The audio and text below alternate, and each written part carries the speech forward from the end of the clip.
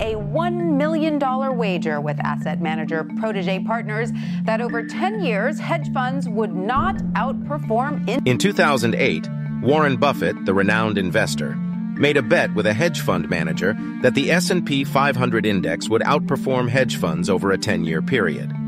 The bet, totaling $1 million, aimed to test the effectiveness of active portfolio management against passive investing.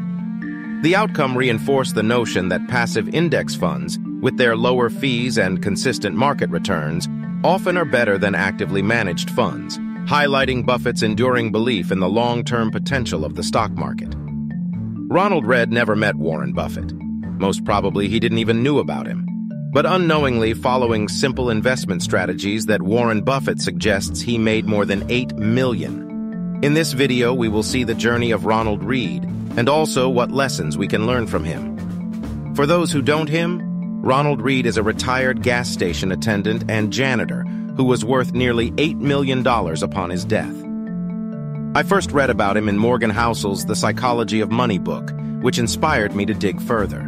Ronald Read was born in 1921 in rural Vermont, U.S., to a poverty-stricken farming family. To travel to high school, he walked and hitchhiked daily, covering a distance of over six kilometers every day. After graduating from high school, he enlisted in the United States Army during World War II. After getting an honorable discharge in 1945, Read returned to Vermont, where he worked as a gas station attendant and mechanic for around 25 years.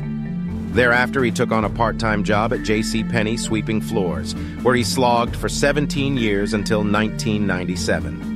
Read bought a two-bedroom house for 12 grand when he was 38 and lived there with his wife and stepkids. He died in 2014 at old age of 92. That was when the world found out about his wealth. In his will, the ex-janitor left $2 million to his stepchildren and $6 million to his local library and hospital. Rule 1. Save more than you spend. This is the foundation of his financial success. He would never have been able to build this wealth if he spent all his money on trendy, unnecessary purchase. Despite only having a relatively low level of earnings working in the service station and as a janitor, he kept his standard of living at a level that allowed him to save. For starters, you can follow 50-30-20 rule of saving and investing. Rule 2, self-taught finance, Ronald invested in stock market only focusing on dividend-paying blue-chip companies. And he only bought companies that he understood, or as Warren Buffett would say, within his circle of competence. Read avoided technology stocks as he didn't understand them. This is an important point. Knowing the stocks to avoid is crucial to building long-term wealth. We can sometimes be tempted to buy those hot Reddit stocks as everyone around us is buying them. Or not getting on their cryptocurrency bandwagon may make us look uncool. When it comes to investing, the majority of people think that this is the job of finance experts and MBA graduates, but you have to understand, you are giving more than a decade to earn from your job, and if you give 10 days to learn the basics of finance, you will be compounding your money your entire life. If Ronald, who was a janitor, can learn the basics of finance, then you can. And if you really want to learn finance in simple terms and in the form of a story, make sure to subscribe our channel. Rule 3. Be patient. We are living in scrolling age.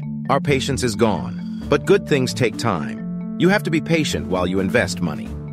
To be honest, it's hard to be sane when fake YouTube money gurus show you a 100x crypto jump in a day, and they're Lambos which they buy by selling courses rather than making money by what they claim. You have to understand and believe the power of compounding. Even Warren Buffett amassed his fortune due to the power of compounding.